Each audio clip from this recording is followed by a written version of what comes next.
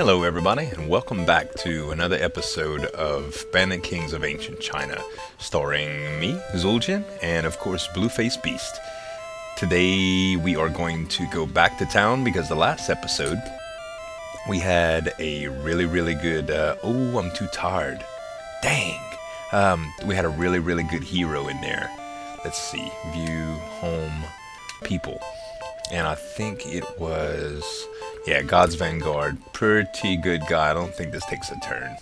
Yeah, he's not the best, but 57 strength equates to decent attack power. Not that good in a country leader due to his uh, IMC stats over there, but decent. So, what we're gonna do now, I guess, since we don't have a whole lot of um, of body to go to town, hopefully we don't lose the ability to go get him. I'm gonna go ahead and service.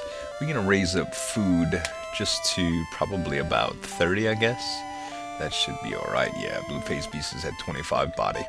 Let's do two head snakes since he has the best strength. And land is now 20. Very good. So yeah, a few turns in and we should be able to go and back to town with Blueface Beast and grab who we need to grab. Rotation's coming up. It's about to turn spring, I believe. Was that January or February's turn? No, that was January's turn. Okay. So one more rip here. Service form. And we'll need five more body for Blueface Beast to go to town, so two head snake. There we go. Land is 23. Yeah, that's going to equate to a lot of food. Here we go. Uh-oh. Mysterious Epidemic 13. Isn't that where it was last time again? Oh no, it was in 18 last time. Ooh, that's Harry Priest. That ain't good. Brother Blueface Beast. Three tigers are terrorizing the townspeople. Something must be done.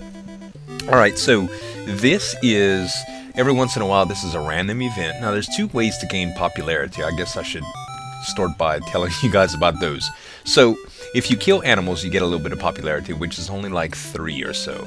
Um, but if you expand in the countries and the people's loyalty goes up above 40, you also get popularity for that. It can drop just like you gained it. So it's really, really important to get it where you can. Um, popularity, you need 250 or 255, I forget the exact number, to be able to attack uh, Gao Qiu personally. So, what we need to do is get that popularity up, and right now, I'll go back to our hero view, and as we can see, it's only 11. So, that's because we have one country uh, populated right now. I think it's about 10 to 12 points per country, depending on what people's loyalty is. Um, so if we went to kill those tigers right now, it would take a turn and we'd gain 3 to 5 popularity, I believe. The bad thing is that if you don't have any troops, you really can't fight these guys, no matter what your stats are, because it'll bring your body down to like 5. It'll take forever for him to recover, and we just don't want to do that at all. So the good news is they stay in the country 3 uh, months, I think the whole season. Pretty much any event that you have that happens all season long. So it's not really necessary. It doesn't do anything. It might uh, hurt your people's loyalty a little bit if they stay in, but I've never noticed a huge, huge difference. And plus, I have a few tricks to gain some popularity later on, so I really don't think we need to worry about animals right now. We have so much country development to do. So we're gonna do, let's see, I believe my, yeah, my power is our only hope. So we're gonna go, uh-oh, I didn't even check. I might have just screwed up, y'all. I sure did. God's Vanguard is already flew to coop. Dang! Well, that's what you get for playing real time and not checking. yeah, I'm not gonna abuse save states or anything. Mistakes are allowed, you know? Oh well. One month behind, we can deal with that.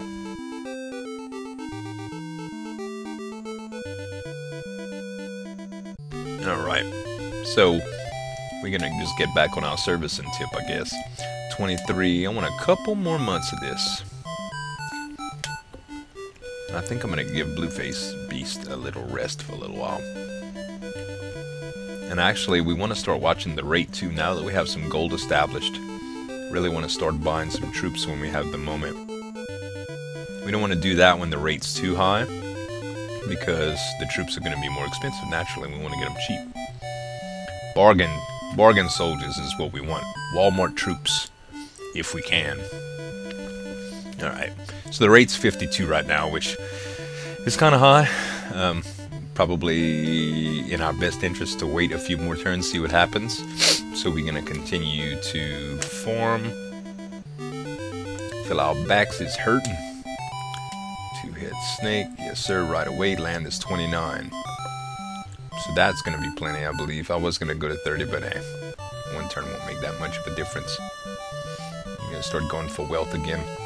Gold is the resource that you need heavily. Food will be once you get high in troops, but like I said, after you start producing out in one country, you can kind of just spread it around if you have to.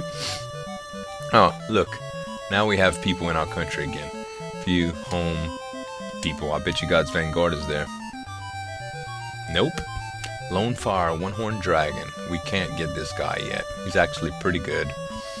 He's got a 51, a 40, and a 38. Not too bad, 92 body.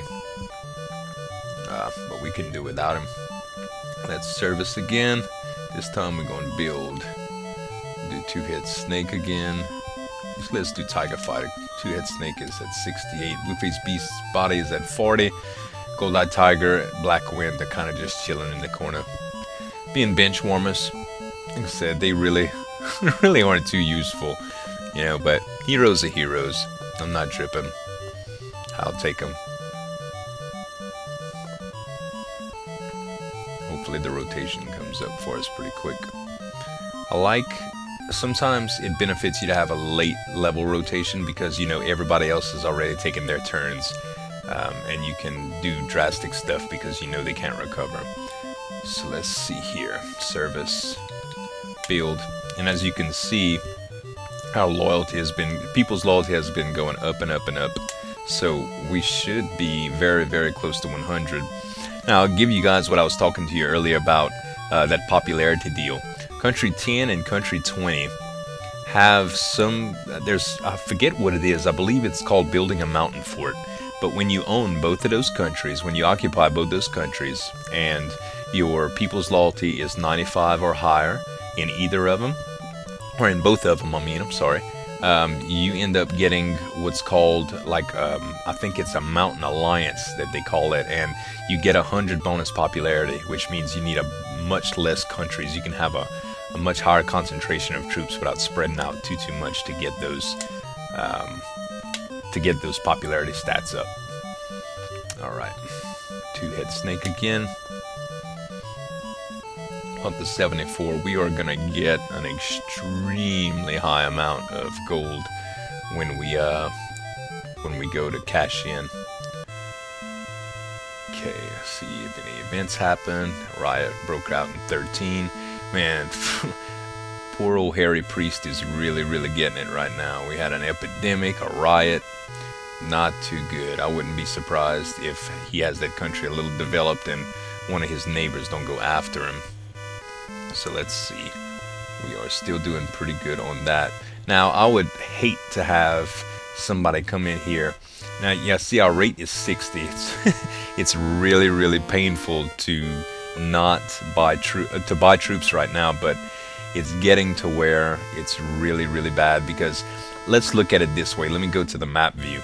If we were to attack someone right now, in three turns, we can have enough time established to get that people's loyalty up by giving food to 100 and collect the taxes in the wealth and the farm that they've been working for so hard all this year.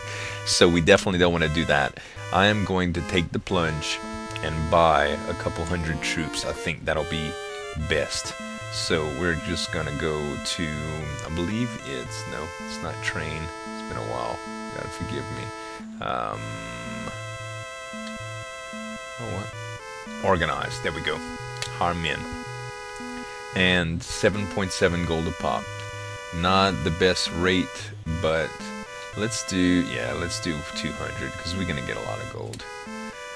Alright, and we're to distribute them to two of our biggest guys. Is how we'll do it. Uh, really, really not interested in doing anything less than 100 on a unit as far as buying. What ends up happening is another 100 unit, even though the stats are weaker, can really overpower it. I don't know how the metrics work. I just know it's it's pretty severe when a country ha when a when a, a hero has a hundred troops in comparison. It's kind of like a snowball effect, if you will, when they start battling it out.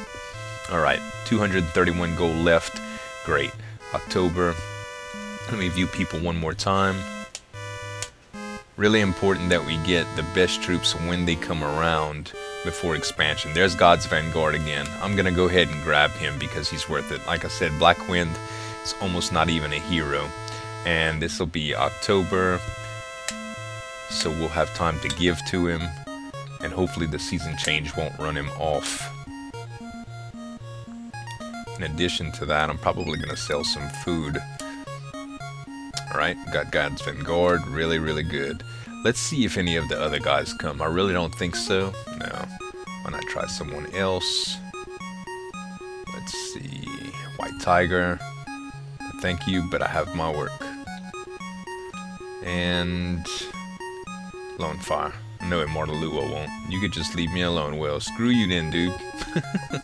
Alright. So let's go to market.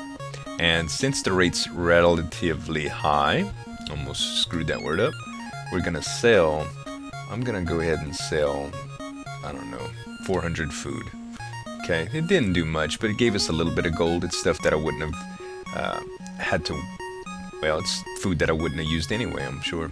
And Smithy, we can just buy, uh, the rate's still kind of high. Yeah, I'm not gonna, I'm gonna avoid doing that for now. Let's just go back. Okay, so next month will be November we'll be able to give to God's Vanguard. Then December will come around and we'll be able to service one more time. And we'll be rested up for January taxes and we'll start doing some crazy troop stuff.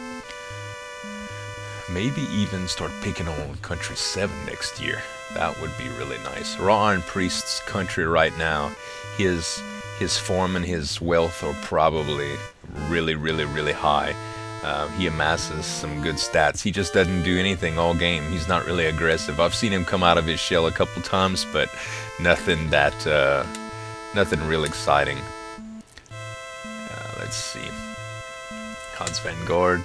What's crazy is he's rated higher than Two-Head Snake. I don't know how the game rates him, but to me, one really, really high stat would overcompensate for a, a few mediocre stats. Prefecture 10. Ooh, man, you see, that's no good. He is rope scholar, and he is probably not going to get taxes, which is bad. Like I said, the guy has too hard, too much to manage at one time. He's just, he's probably got 15 heroes, probably all of them are mediocre to low loyalty. Some of them end up leaving him sometimes, it gets so bad. Uh, and he's got good heroes too, so attacking that guy is pretty good to do early on. We might go that direction. The bad thing about that is, I'll show y'all right quick. When you attack 10, 11 and 20 are touching you. that means they can start soliciting gold, and they are strong. They're really strong. So maybe a raw iron priest is a better idea. Let's see. Hopefully we get some overflow. And look, we got somebody else in town. Man, these guys are like just roaming through. Like I said earlier on when I settled this place, people are just attracted to this country. Wood Dragon. Who is this? Uh, 43, 47, 51. It's got a little bit of wisdom, some mercy, low, low integrity. And charisma, I think, is 38. I don't know. 93 body. He's a shipsman, but he's an outlaw. We can probably pick him up, but I do not want to chance it. He might be here next year. I'm just going to give us one more boost to our money supply here with Blueface Beast. And I think we probably just gained some stat with him too. Wealth is 78. That's going to be a good haul, y'all. I mean, it's not going to be insane, but it's going to be good. Is there no one to challenge this villain? As we go on, Huizong will start saying different stuff the more popularity we get because we'll get recognized. So that'll be cool stuff.